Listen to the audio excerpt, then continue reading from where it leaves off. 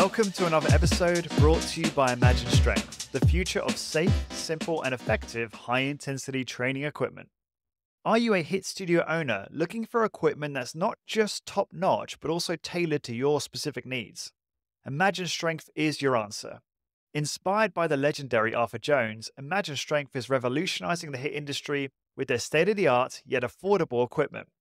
Their team doesn't just sell HIT equipment, they live and breathe it. I've personally experienced their gear at the Resistance Exercise Conference, and let me tell you, it was an intense workout that I won't soon forget in the best way possible, of course. So, why choose Imagine Strength? Number one, they provide customized solutions for HIT studios. Number two, they have budget friendly yet high performance designs. And number three, they're committed to innovation and excellence in high intensity training specifically. Founder Jeff Turner and his dedicated team are on a mission to make HIT accessible to everyone. Getting started is easy. Number one, visit imaginestrength.com. Number two, consult with their expert team. And number three, choose the equipment that will skyrocket your business. Don't wait. Head over to imaginestrength.com and elevate your hit studio today with Imagine Strength.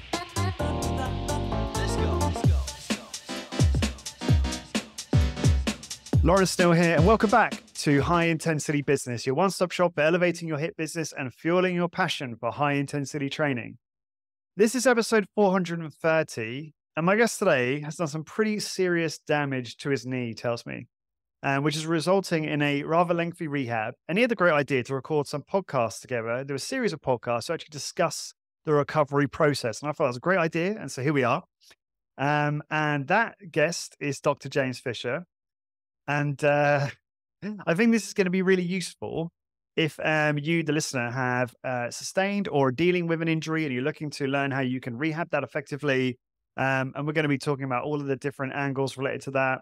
Uh, but also, if you're just looking for obviously, you know, rehab guidance as it relates to your clients' um, injuries they have too. And a lot of us in personal training or high intensity training are working with clients of all kinds of uh, niggles and, and legacy old injuries and new injuries that come out of nowhere we have to be able to deal with as well. So I think this is going to be useful and give you some guidance and tactics on how you can address that as well.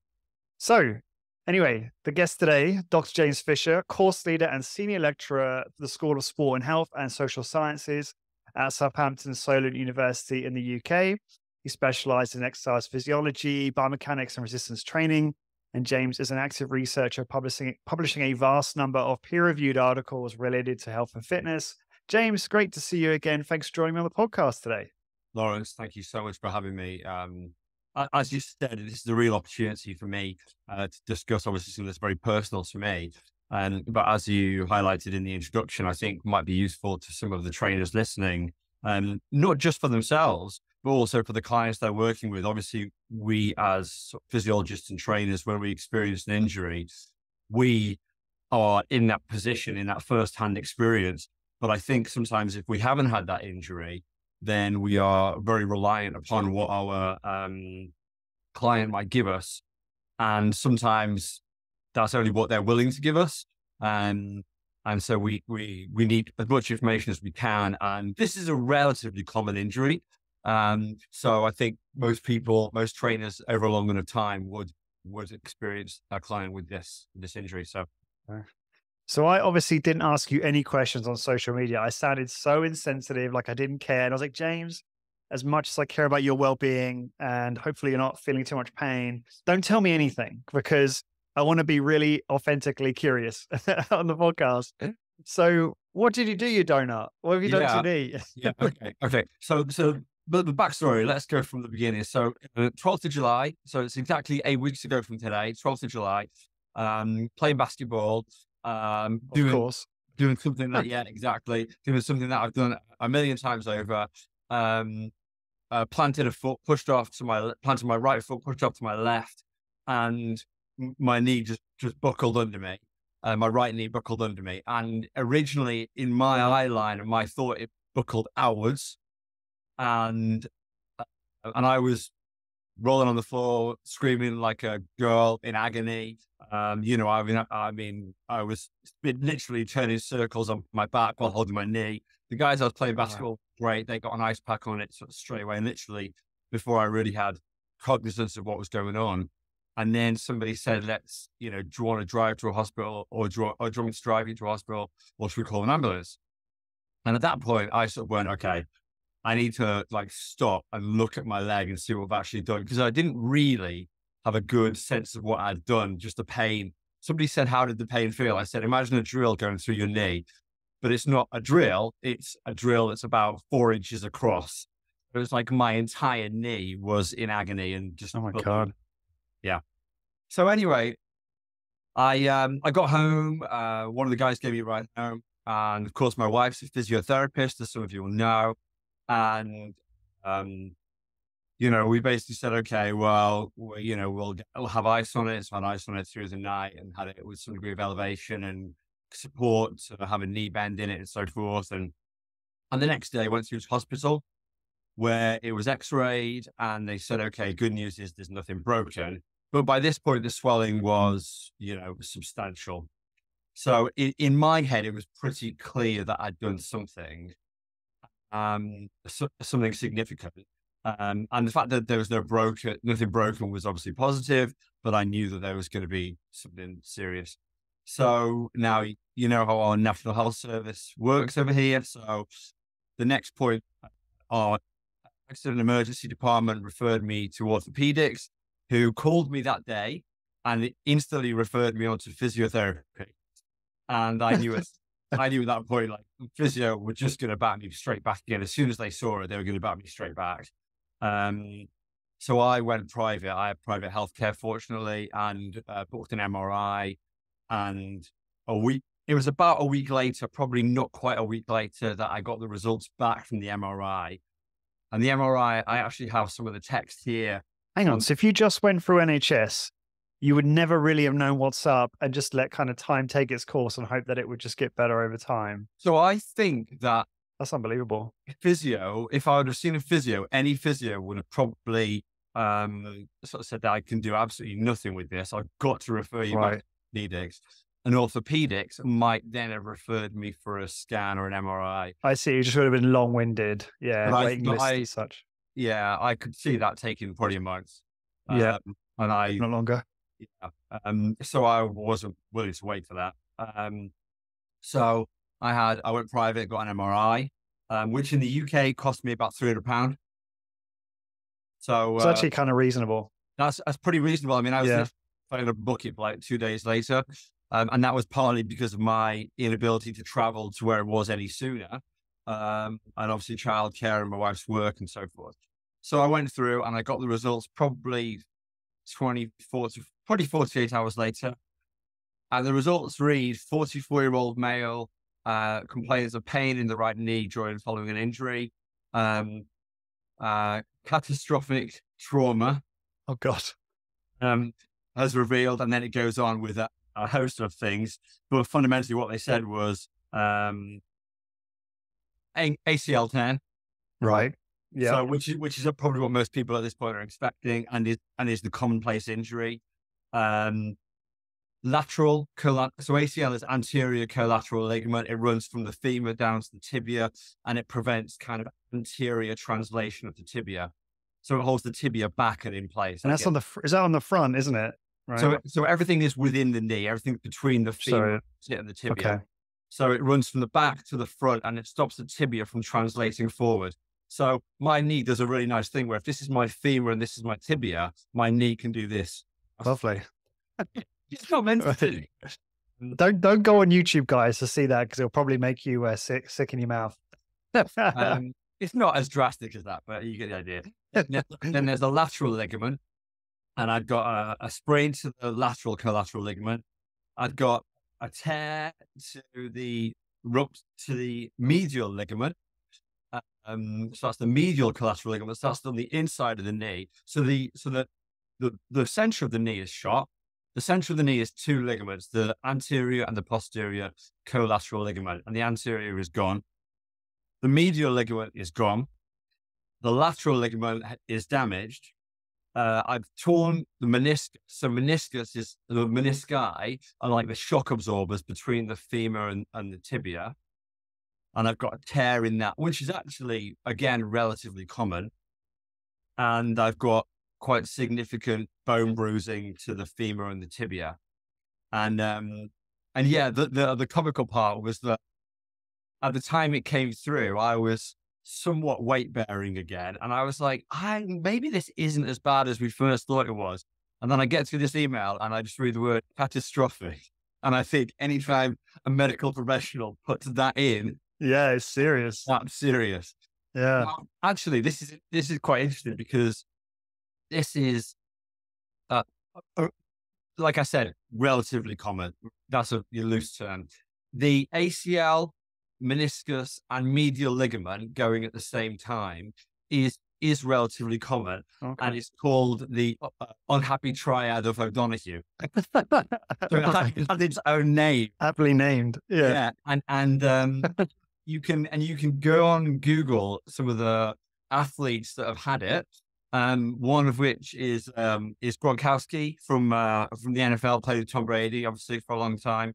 Um, uh, a Gronk, for those people that know, played in a pretty significant knee and elbow brace and suffered some pretty significant injuries. Um, but it, but it's interesting because one of the key things that I did is once I knew the injury, I went back and looked at athletes that I knew that had the injury and how they rehab. Similar specimens to yourself. Yeah. Well, you know, that's how I just that's how I perceive myself. No, because what's fascinating is when people talk about full recovery from an injury like this. So an ACL tear is relatively common, and um, it's like like 66 people in 100,000 athletes will will experience an ACL tear. So that's relatively common. Um, but one of the things that they refer to when they say successful rehab is not successful return to play at the previous level. Hmm. Full mobility, uh, strength, stability of the knee but it's not necessarily okay. You were a Premier League soccer player or an NFL player or an NBA player, and now you're back in the NBA. And we all know. I mean, you you and I, you know, using the NBA analogy, we've all seen our athletes like our Penny Hardaway or Grant Hill or insert name here, who yeah. have been world world class players, had a, a, significant injury and never quite got back to where they were. Um, you know, so, so I guess the interesting thing for me was to go back and look and see a list of names, some of which were people that either retired from it, that never got back from it to their previous level, or some that did get back to their previous level. Um, and that that in itself is actually one of the first things that I want to kind of get into because I ironically used to lecture on um, career-ending injuries and um, cessation of an athletic career as a result of injury. And it relates very closely to the Kubler Ross grief model. So when when somebody experiences an injury, the the analogy is made that it's like experiencing grief. Hmm. And I certainly, I mean, I sat there in the first, well, one, one of the things that's interesting about this, I'll talk through the stages in a second, is you can move forwards and backwards through these processes. So the first process is shock. So there's a complete, like the response to the bad news, you're in complete shock over it.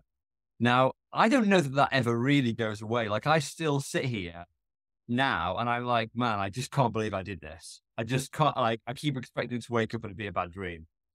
Um, so you move through the processes of kind of injury or recovery in the same way you would grief, but you can still move you can still kind of regress to those earlier stages. So, um, if I run through the the adapted grief model that I always worked from as an academic was shock, then denial. So basically, kind of trying to avoid the, the, the inevitable, trying to say, oh, maybe this isn't as bad as. Mm-hmm. And I was very likely at that point when I received the email, go, maybe it's not as bad as we first thought, so forth. Mm. Uh, anger and frustration. Um, then there's bargaining, so is there, you know, and certainly from my point of view, my bargaining has been okay. I'm fitter than a lot of people that might have this injury. I know more about anatomy and physiology and strength training, so maybe I'll recover quicker. Um, okay. Then there's depression. Then there's testing and kind of trying to identify solutions. And then finally, there's acceptance and kind of seeing kind of okay, this is how long it's going to be. This is what I need to do. Um, and I think like for me, a part of this podcast, I don't want to get too bogged down with this, is to realize that every time a, client stands in front of you, there's if there's an injury or if there's an underlying anxiety towards exercise or training or whatever it might be, then there's a psychological attachment to that as well as physiological. So maybe they have low back pain, or maybe they have had an injury, or maybe they're just nervous about being in the gym. And some of those things we deal with day to day and say, okay, if they're not confident in the gym, these are ways we can improve confidence. But if they've had an injury, then knowing these kind of stages of recovery com- might be key towards helping them, um, helping their recovery, helping their mm. physical and their psychological recovery. Um, one of the key things with athletes a lot of the time is physiologically now we can recover quicker than we can psychologically. So the likelihood is I went back on the basketball court for probably another 12 months, realistically, another 12 months. But in 12 months, it's incredibly likely every time I make any movement that I am going to have in my head it's the moments that I've had in the past of this injury. This happens to athletes, doesn't it? Where they don't have that same confidence when they return to the professional yeah. sport. Yeah. So I think it's that in itself for me is really interesting. Um, and I think it's something that as trainers or, or anybody working with any client, strength and conditioning coach or personal trainer, whatever it might be, we kind of need to have in mind um, whether we have or haven't experienced them. Um, you know, I've had a few, I've had a lot of text messages with a few people about this, and they all come back and go, "Gosh, you're so you know you're really being really pragmatic about this."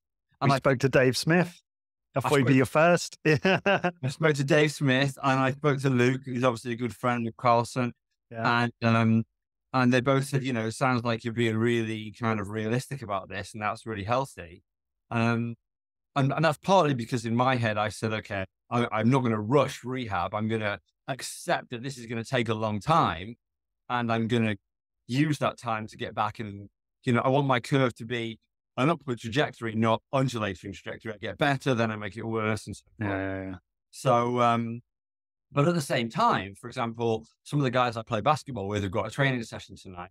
And there's a part of me kind of is no way wants to go along tonight and say hi to them and, and maybe just kind of just hold the basketball or maybe take a break. Take a um, few free throws. yeah, exactly right. But of course, we both we, we both know that's a really slippery slope. Right. Can I just just to go right back to the beginning in terms of when you actually did the injury? Do you have any idea like how that happens? Is that just a is that just a freak thing where all the forces hit the knee in a certain way? Is it due to fatigue, the muscles being fatigued? Is it the fact that there's a lot of wear and tear there from sports and stuff over the years? I'm curious how you think about what caused it and how that happens. So, Lawrence, I'll tell you, I've played over a hundred different scenarios as to why it might have happened. Right. in my head, I was doing nothing any different. All you did is change direction, right? Right all, to left. All, all, I did is do something that I've done a hundred times over. Yeah. And and uh, over a hundred thousand times over. I have no idea. And and I've played out so many different why did this happen? What if? What if? I was wearing a new pair of basketball shoes. Oh. So I so of course the, the psychology of it, I, like I'm never going to play in those shoes again, right? because I'm going to be like, the, was it the shoes? Did the shoes slip? Did the shoes grip differently? Did my foot turn, pivot? Did it? Did something happen? Okay. Then there's I was having a bad game, so was I playing more aggressive and trying to overcompensate. Um, you know, what what was I doing? What happened differently? Had I done a, I, you know, I think back now, did I do a leg session too recently? And I was. It's really easy to create narrative fallacy, isn't it? And of course, and the, yeah. Real, the reality is that I'll never know, mm. and, and it is probably nothing more than a complete freak accident.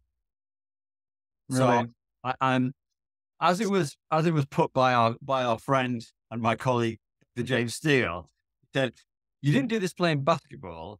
You did this playing basketball at 45 as if you were still 18.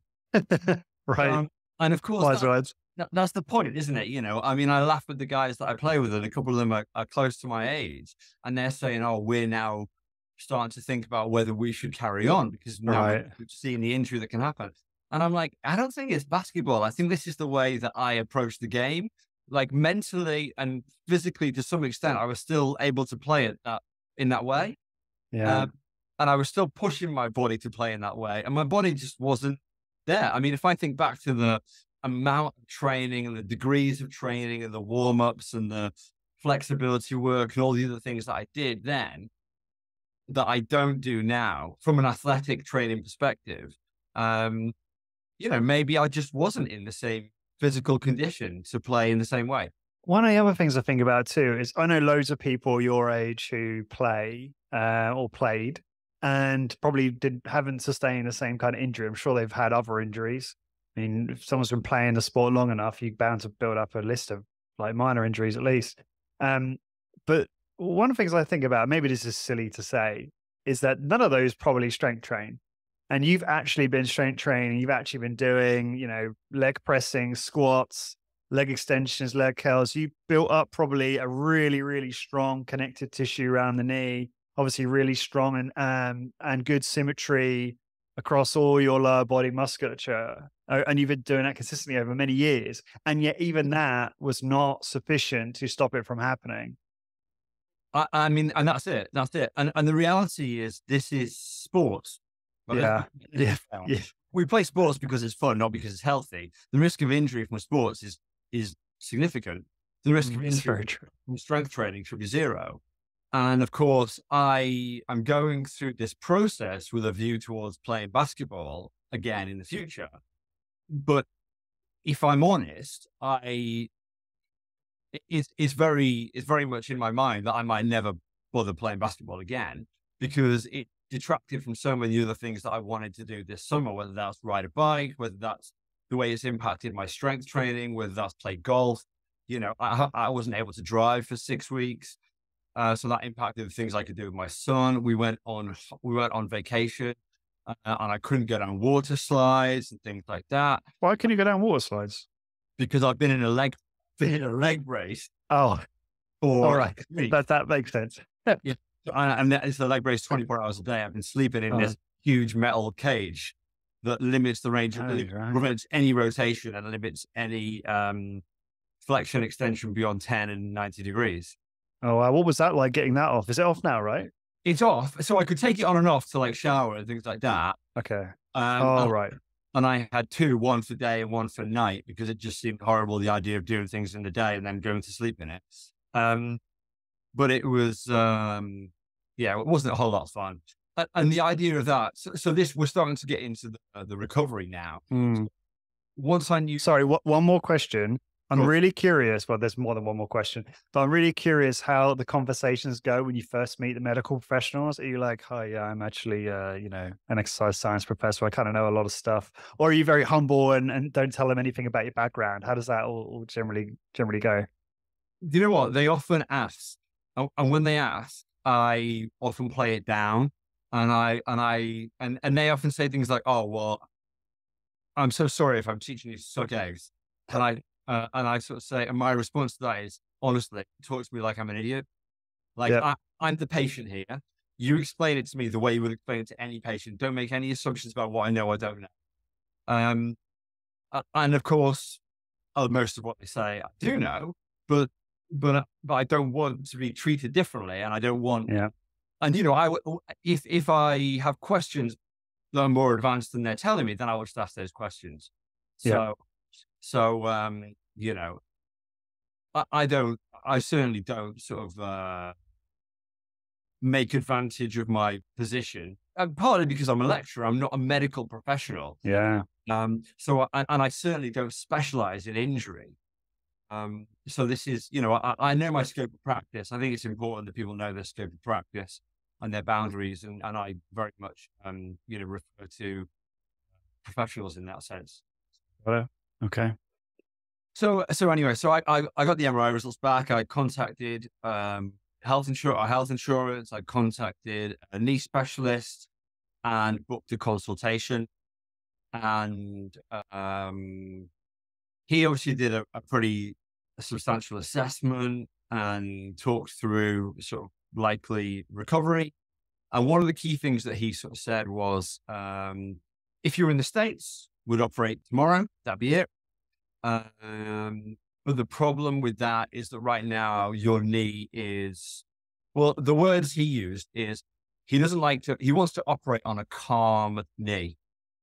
He wants to operate on a knee that has had as much chance for any soft tissue injury to recover or that's going to recover to recover so that he can go in and deal with exactly what needs to be done. And that's that. And is that the same as kind of inflammation or is this post the kind of acute inflammation phase? So the acute, the acute inflammation has dropped off considerably yeah. over the six weeks. I mean, um, you know, uh, eight weeks ago when I did it, and seven weeks ago when I first had a consultation, uh, the swelling was drastic. Um, probably movements were limited as much by the swelling as by by the uh, inability to move.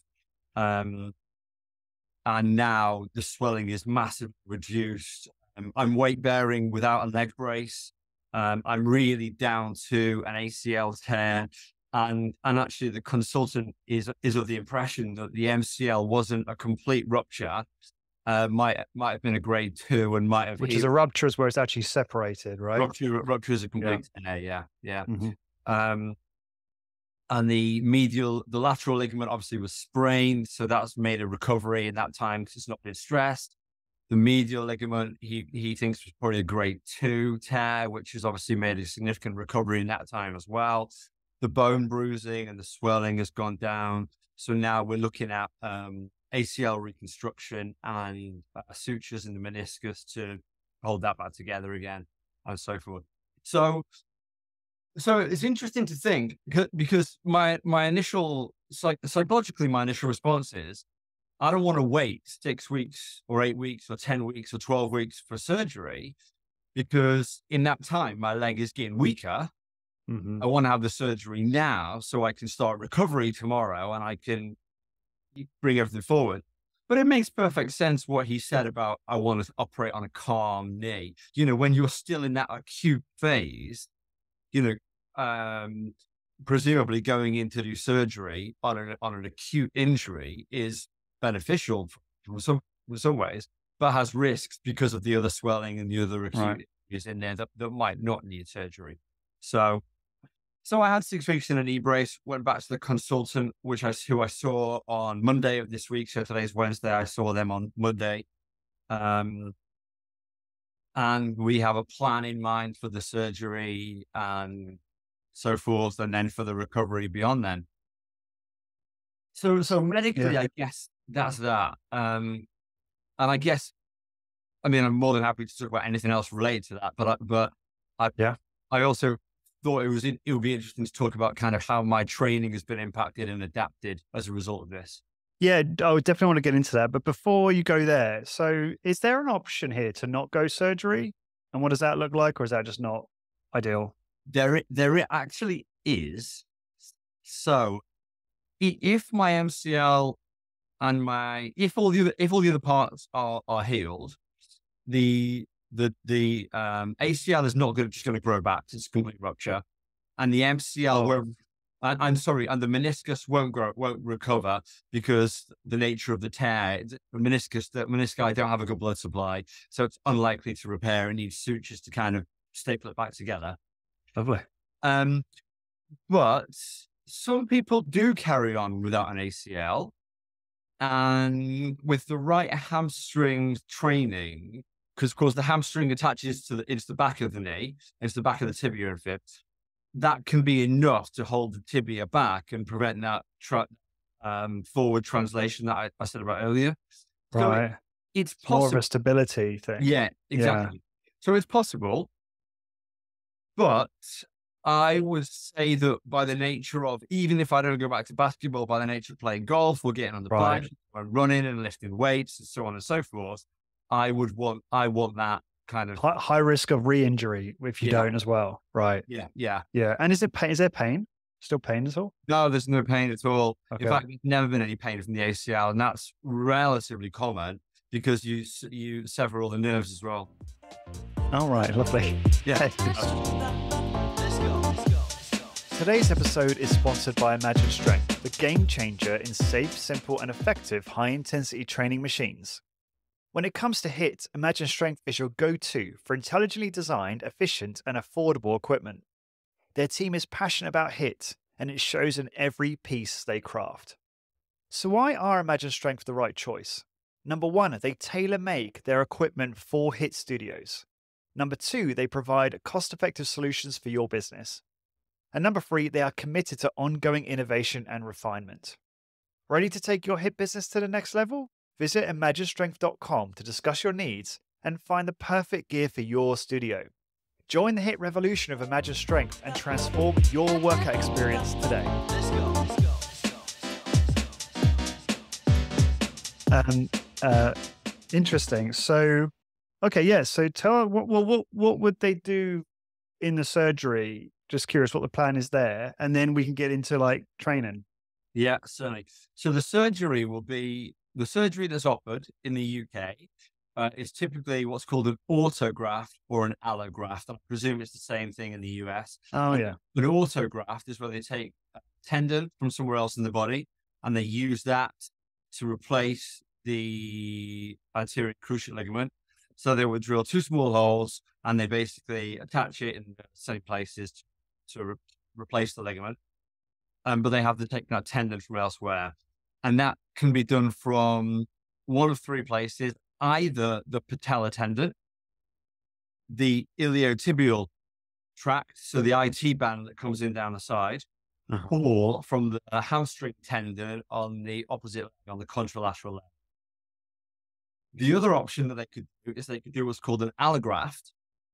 And an allograft is to use uh, tendon from a cadaver, so tendon from somebody else. What would be your preference, James? So my, my preference has been an autograft. Uh, partly because an allograft has in it, um, not I'm not averse, I'm not against kind of having somebody else's tissue or dead tissue. Um, an allograft has the potential for rejection. Okay. Um, it has subpart genetics. I, well, I'm glad you said I didn't want to have to. oh, what were you thinking? Were you yeah. thinking that? No, not at all. Not at all, actually it can take a lot longer to kind of your body to bind with it. There is a chance of rejection. There is also a greater chance of infection. All right. But the, but the main thing for me is it, it can delay recovery for probably a minimum of three to four weeks. Is there a difference in cost depending on the approach? You know what? I don't know. I didn't ask. Mm.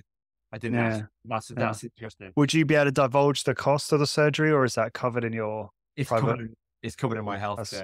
Thank God for that. I um, in the UK, I'm I'm under the impression it's probably in the region of a ten thousand pound surgery. Really? Oh wow, I didn't think it'd be that much. Okay. Yeah.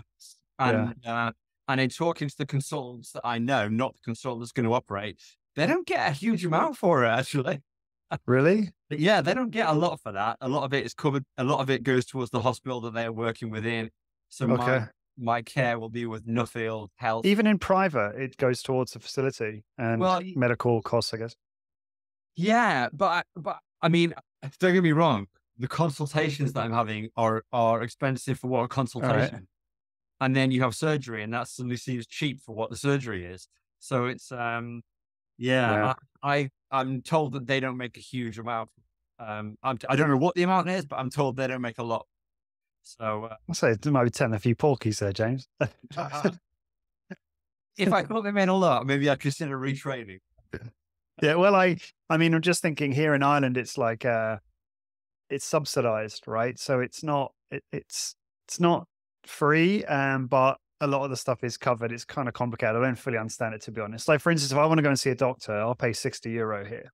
Okay. Um, so also like, you know, 50 pounds, whatever, um, or $65, whatever. Um, but then if you need treatment, I mean, it's just like NHS in terms of like, and I'm sure COVID didn't help. There's huge long waiting lists. Um, and there's lots of triage going on depending on the severity of your issue or whatever. Um, but then the if you have, you know, depending on what the issue is, what the disease is or injury or whatever it is, um, there's different policies in terms of like how much the HSE, just the Irish healthcare, will cover it. Right. Um, but where was I going with this? Oh yeah, but I had a long time ago. You might remember this. I had to go and see an expert about my shoulder. I do um, yeah, and uh, I went to see a consultant for that, and he was charging like 230 euro, and I was in there for 15 minutes. I was like, "This, I am in the, I have pursued the wrong career path here. This guy is, I mean, obviously he has to pay rent on his little facility and the private hospital and all that, but still, it's like I couldn't believe they were charging that much. And obviously, he was very knowledgeable and a lot of expertise. But yeah, it's just mind boggling. Yeah, it's been a similar cost for the, for the consultation I've had. And uh, Okay. I paid my excess on my insurance now, and my insurance will now cover the rest. So I have to keep contacting them to check that they're going to cover it. There's no reason they shouldn't do. Right. Um, but so basically, the surgery, just to kind of wrap that up, the surgery Yeah. that I have is um, an ACL reconstruction, which is an autograft. I will have the tendon from the hamstring of the opposite leg. And I will also have what's called a tenodesis. And basically, what they do is they take a piece of a, is they kind of slice a piece of ACL, oh, sorry, a piece of IT band um, from its attachment, and then they stretch it and reattach it further down. And that's meant to give greater rotational stability to the knee and- resist rotational forces to the knee. So, long and short of it is, I'm going to have a pretty good scar on the back of my left leg, a good scar on the upper part of my on the out on the inner part of my right leg and on the outer lower part of my right leg, and then two holes for ACL reconstruction, which are common. Um, Yeah. I've known quite a few people who have those two little scars there. It's- yeah, I've seen a bunch of those. Yeah, Yeah. yeah, Yeah. Um, So do you want to get into? Go, sorry, go ahead. so yeah, so it- so uh, yeah, and then and then sutures for the meniscus. I presume that'll be done within within the same sort of scarring and same surgeries. Okay. Yeah. Cool. So what's uh, what's the training looking like? Like if we start from the beginning again, like how soon were you able to do? I mean, firstly, could you maybe take us right back to the start of the injury, like when you first had your strength training? I'm assuming you probably modified to like upper body on one leg only, um, and then over time brought in the other leg, and and and I'd love to hear about all that whole progression. Yeah. So I, it was probably a week until I strength trained again, maybe five or six days. Um, I, I was very aware that obviously your body is in a degree of shock, has a lot of acute healing to recover from, and I didn't want to add any stress, any physiological Mm. stress to that. Um, I was very inactive. I was on crutches for the first probably three or four days. Um, and then I was in what's called the cricketer's brace. Like, um, so basically it's like a wraparound sleeve that holds your leg in a very, very slight bend and doesn't allow anything else. Um, and then from the time I, from the day before I saw the consultant, so from the time I got the MRI results, um, I ordered a brace online, put it in that brace. I knew that I could now increase my range of motion, but not to increase it too much. Um, saw the consultant, and he confirmed what I kind of knew to to limit it to 90 degrees of flexion and no more than 10 degrees of extension. So it can't move into it couldn't move into full extension. Mm. Um, and with that in mind, once I was in that brace, I felt pretty pretty comfortable to go in and start lifting again, to go and start training again. Um, I have a home gym, as you know, sort of a setup in my garage. And, and I'll be completely honest, at that point, I knew all cardio was out the window. So I couldn't run, couldn't cycle, I couldn't play basketball. Um, I, I toyed with the idea of buying a- an arm crank ergometer. So I Right, I was going to say that Bill Bill likes those, doesn't he? Well, at least he talks about those sometimes. yeah, but I I never really also- likes them that much. I was also I'm very conscious of my shoulders and knew that if I was going to go go to a lot of upper body strength training, I wasn't going to do that in combination with a lot of upper body ergometry work. So I pretty much resigned myself to the fact that I was going to bulk up. Um, and, I, I, I once I once I was kind of okay with that, which took about um, a meal. Um, I, I, I very quickly thought I'm going to eat what I want. I'm going to do what I want. I'm going to lift when I want and so forth. And so I went back in the gym. I went to uh, a lot of drop set training. So I increased the weight on, on most exercises to do fewer reps on the first set and then drop down the weight to a, a higher volume, higher number of reps per set. Um, for for for a break set for a breakdown or a drop set approach. And I did, yeah, I did uh, single leg lower body training. uh, it was everything was made difficult with this because I couldn't do anything where this leg stabilized. So I couldn't, for example, do a good seated row where you would anchor with your feet because mm. I couldn't anchor with my feet. So um, pull downs. So for example, it, I, I couldn't really do pull downs, so I couldn't anchor under my knees. So I did a lot more. Oh, not even the one knee. Anchor under one knee and not worked well. Well, do you know what? Because of the way you can't put your other leg under, it's, it was just too awkward to get it into. I see. Um, I did single leg knee extensions. I did single leg uh, prone leg curl. I did a lot of uh, Romanian deadlifts, single leg Romanian deadlifts, and so forth. Um, and I did, and I did a a lot of upper body training. And I would say probably in the first couple of weeks, I trained every other day. Oh wow! Um, Just like a crazy split routine, was it? No, not at all. It was like oh. um, but with emphasis on different days, like different upper body emphasis, or just the same? Not really. It was really okay. just a case of going there and be really kind of um, uh, pissed off at the world and just kind of right. move big weights and um, you were very frustrated then. Yeah, I was. I was hugely frustrated. Yeah. I, and once I knew I could do an exercise, once I was in the position to do an exercise, and my leg wasn't going to be impacted, I could, you know, lift. So, um, yeah. So I would say the volume of training increased probably for probably by about twenty five to fifty percent in a week, pretty quickly, um, for upper body exercise. Um, and I and, and I well, in the first six weeks of training, I, I, I sent a message to, to Luke about this.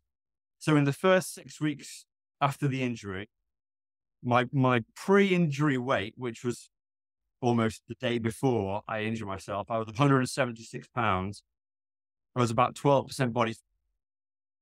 And, and on, and that's my, lean for you, right? That's not it? bad. I was playing a lot of basketball. I weigh, I weigh that. I'm just fat, I think. Go on. And um, and my incline bench was on my lever gym was about 200 pounds for about eight to 10 reps. And by six weeks after, I weighed 191 pounds. Oh, wow. Well, I put on 15 pounds. My body weight was still around 14, 15%, give or take. Mm-hmm. Uh, so not a huge increase in like fat, but certainly an increase in fat. But my incline bench had gone up to 240 pounds for about 12 reps. The recorded this it was 240 pounds for 12 reps. Wow. So what was really interesting was that I had got a single minded like focus. Like I've, I was very much focused on pull ups and presses. Like I did a lot of lat raises. I did some rows, but they were not as comfortable because of my leg. And I was more anxious about being unstable doing them. Whereas when I lay down on a bench using basically a machine, or if I'm doing pull ups where I know my weight's not through my feet at all, I could be very, you know, be very focused on what I was doing. And, that was kind of, I guess, the intent of the training, of the training routines. Yeah, quite interesting results quite quickly. Um, I mean, so how, six weeks go, isn't drastically quick, but it's yeah, it is quick. I think. Um, so you think you put on a, a, fair bit of muscle then in that time, based on what you said there? Um, I think I put on a fair bit of weight. I, I think that I probably did put on some muscle. Sure. The interestingly, by experience, the heavier I am, the more I can press anyway, even if it's not per se muscle per se. Sure. So when I've when I've topped 200 pounds, I've been able to bench more than when I weigh less. Um, even when I've topped 200 pounds and look chubby. Um, so so I, I, I definitely, I definitely think I put on some muscle. Um, but it, but it's interesting to think that, um, well, from from my point of view, I, I, I, like I said, I went to eating kind of whatever I wanted. Now, I, I have, I generally have a palate of reasonably healthy foods anyway. You know, I can sit down to a, a plate of broccoli over a bag of potato chips any day of the week. I'm quite happy with that. Um, and I, everything that has protein in it just is palatable to me. So I prob- I've experienced I, that. Yeah. So I, um, uh, one of my one of my meals in a day is a protein shake, um, and I and I started having two of those a day anyway. So I went from five grams of creatine to ten grams of creatine a day, and I went what, in your shake or separate. in a shake. In a shake. Which shake do you get that gives you creatine and the protein in one? No, I I had cre- I had creatine. Oh, you had it. Okay. Yeah, yeah. So I often use Reflex. I can't think of the brand that I'm using right now, but I order it off Amazon, so anybody can get it, and I will as soon as I bring it on my phone. I'll tell you what it is. Thanks, James. Um, and I'm not advertising them. I'm not saying this is the protein everybody should use. Other proteins are available. of course. Uh, it's called it's called XL Nutrition. So if you go on Amazon, you, you Google XL Nutrition Whey. Uh, um, the last one I ordered was the white chocolate raspberry, which is Oh, delicious. Hmm. Um, and two scoops of that is is about 40 grams of protein. I had five grams of creatine. It tops out Just creatine monohydrate. Just Yeah. Yeah. And that tops out at about 240 kilocalories. Okay. And just remind me, quick diversion on this. So the creatine obviously helps with recovery, helps with some performance as well, and potentially increased gains uh, uh, in terms yeah, of yeah, definitely. So I would say that creatine's probably a big one on gains. I mean, there's a huge amount of research now on creatine for Yeah. kind of brain health as much as anything. There's a big push for uh, from the exercise science community that creatine probably should be supplemented by everybody in the world, not just wow. athletes or um, I'm gonna buy some. yeah. I used to take it, but yeah, go ahead. and, and and and where people often said, "Oh, you need to cycle off it because the long term, you know, negative implications are not known." They're still there's non-recorded." Um, you know, I do I do cycle off it every time I finish a pot. I give it a few weeks before I order a new one, but Okay. but I don't you know record the time that I'm off it for. I don't say, "Okay, I'm going to come off it for twelve weeks." It's not uh, it's it's not steroidal in, in that in that sense. So So just a Uh, couple weeks you cycle off it for, like two weeks, is it? Yeah, probably two or three weeks. So then make a point of rushing toward the next pot, uh, Okay. the next like tub, like 500 gram tub. Um, but, but yeah, and, ag- and I ordered that off Amazon and it's, uh, it's, uh, let me- bring it back up again. Um, it's not any particular expensive brand. It's creatine's not hugely cheap. It's optimum nutrition. Oh yeah. Um, yeah, so it's it's you know accessible. Uh, yeah, so so interestingly, I, I you know with my uh increased calories, probably a large percentage of that was protein anyway.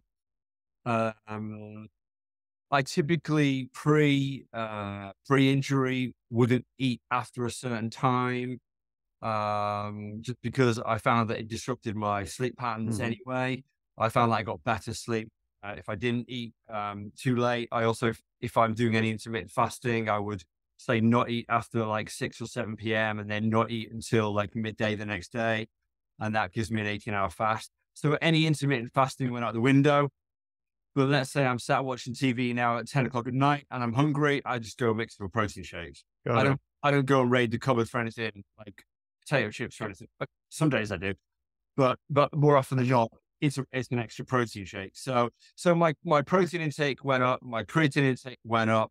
They were a huge part of calorie intake, I would say. Um, and yeah, I made substantial increases in let's let's loosely call it body mass and and strength. I love your honesty because you understand like the realities of gaining that much weight, like what it breaks down to. So I love the honesty around that. It's refreshing. I mean, I, I, you know, I look in the mirror and I see the difference, and you know, all the t-shirt, like the t-shirts and the shorts that I wear, suddenly got a lot, like fifteen pounds, is quite a lot.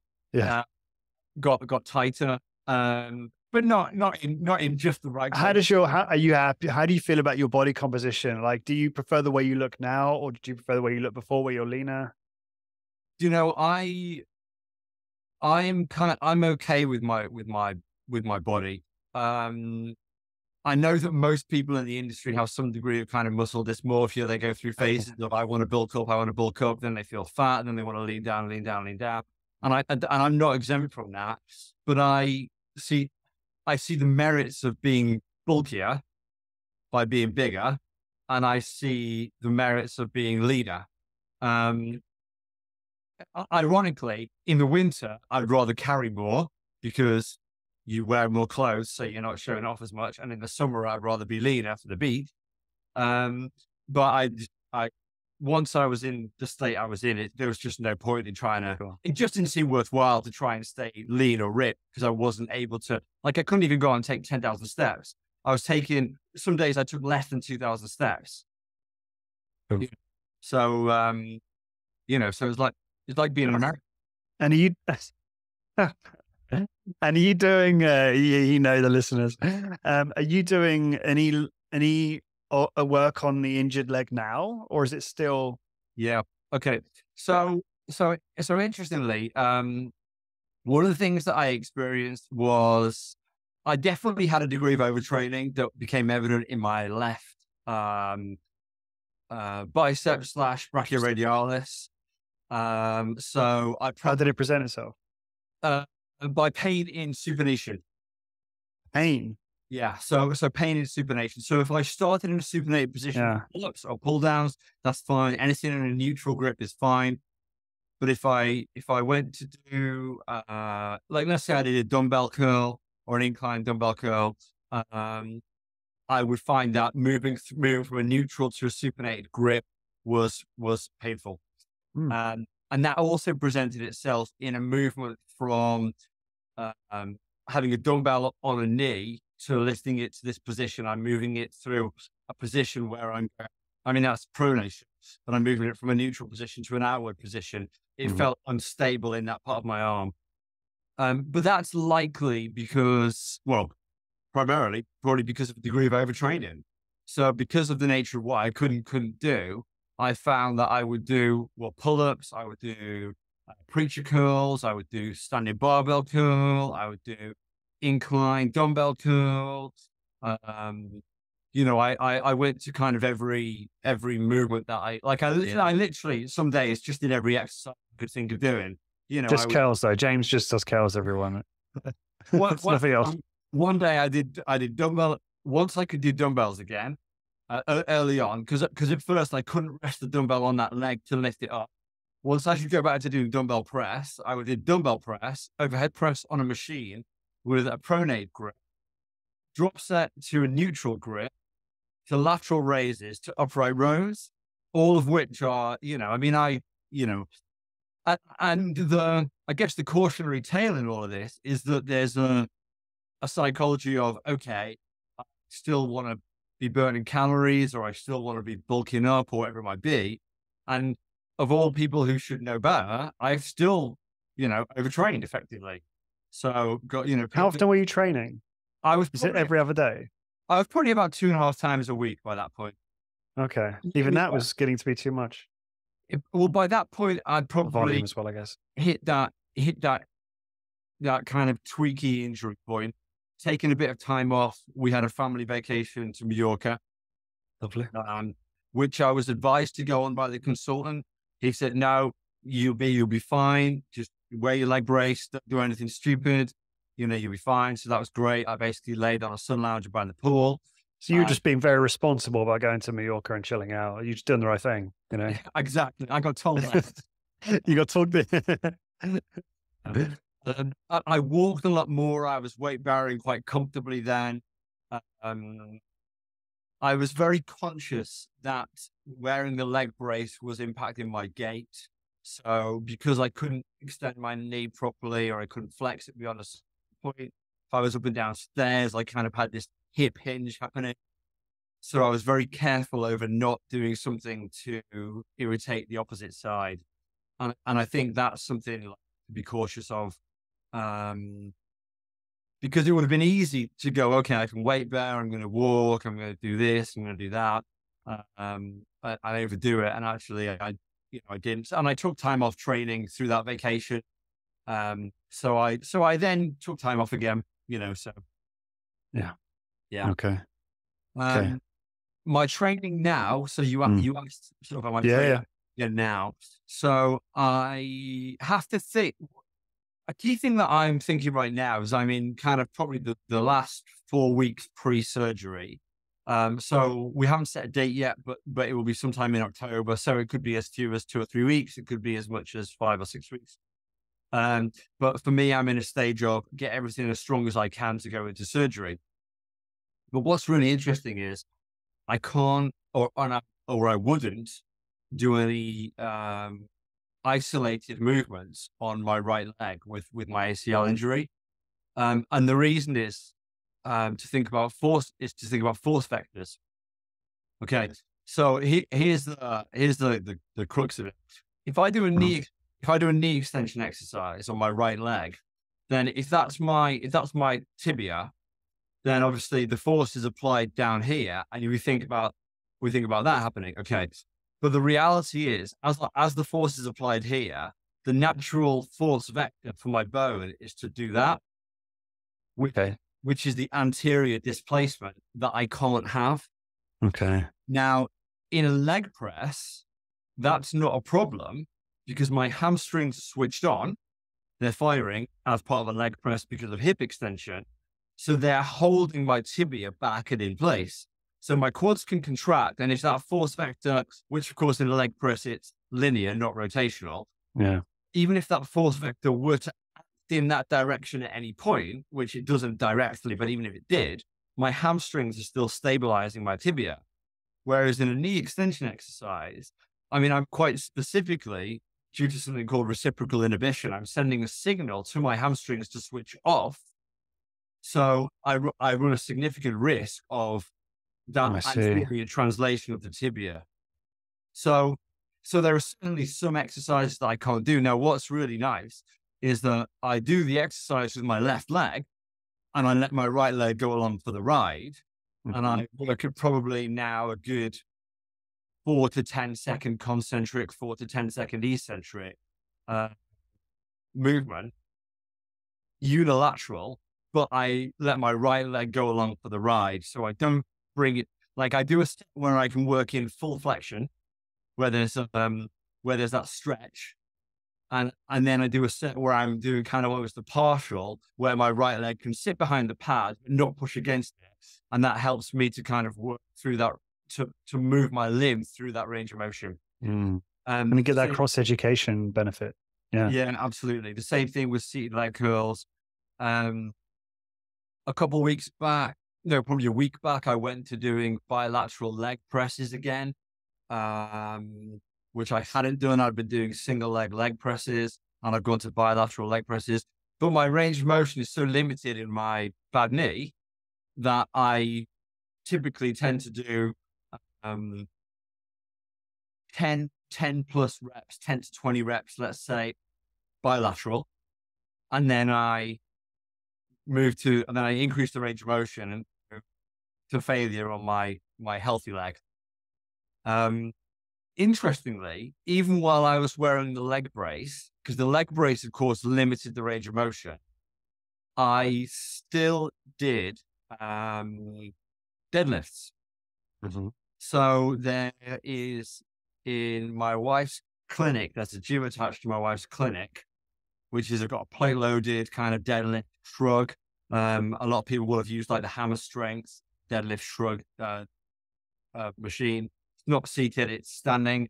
Um, and I would load that up and still do bilateral deadlifts um, on, you know, obviously through both legs, but just controlling the range of motion to within what the knee brace allowed. And that was quite that was quite interesting to know that actually loading the muscle didn't bother it. Loading the muscle within that range of motion didn't bother it. And loading, arguably loading my knee wasn't bothered by doing that. So very cool. All so, right. and again, like I said, uh, you know, the idea of this is to be of some use to some people. And it might be that they put a client on a leg press and they can't push through a leg press. But if you got them to do a deadlift through a limited, let's call it a limited range of motion, they're absolutely fine. So maybe, you know, so a lot of it in this case almost goes back to when I've worked with athletes with a disability that you, you don't approach it of what they can't do. You approach it of can they find a way to do what you want or to have the outcome that you want. Yeah, that's, that's wise words. Um, uh, so, James, I think um, we should definitely park it there and check in again because we've got another podcast scheduled for a part two, haven't we? To to carry on this um, exploring this this rehab and process for yourself. So thanks so much again for joining me. Really appreciate it. What's the best way for listeners to to, to find out more about you and, and message you? Is it just the email still? Yeah, contact me by email, james.fisher at solent.ac.uk. Um, and I will respond to that anything that comes in. Thanks so much. All right, James. Well, look, um, have a great rest of your day. Thanks again for your time. And if everyone listening to get the show notes for this episode, please go to highintensitybusiness.com, search for episode 430. And until next time, thank you very much for listening. Welcome to another episode brought to you by Imagine Strength, the future of safe, simple, and effective high intensity training equipment. Are you a HIT studio owner looking for equipment that's not just top notch, but also tailored to your specific needs? Imagine Strength is your answer. Inspired by the legendary Arthur Jones, Imagine Strength is revolutionizing the HIT industry with their state of the art yet affordable equipment. Their team doesn't just sell HIT equipment, they live and breathe it. I've personally experienced their gear at the Resistance Exercise Conference, and let me tell you, it was an intense workout that I won't soon forget, in the best way possible, of course. So, why choose Imagine Strength? Number one, they provide customized solutions for HIT studios. Number two, they have budget friendly yet high performance designs. And number three, they're committed to innovation and excellence in high intensity training specifically. Founder Jeff Turner and his dedicated team are on a mission to make HIT accessible to everyone. Getting started is easy. Number one, visit imaginestrength.com. Number two, consult with their expert team. And number three, choose the equipment that will skyrocket your business. Don't wait. Head over to imaginestrength.com and elevate your HIT studio today with Imagine Strength.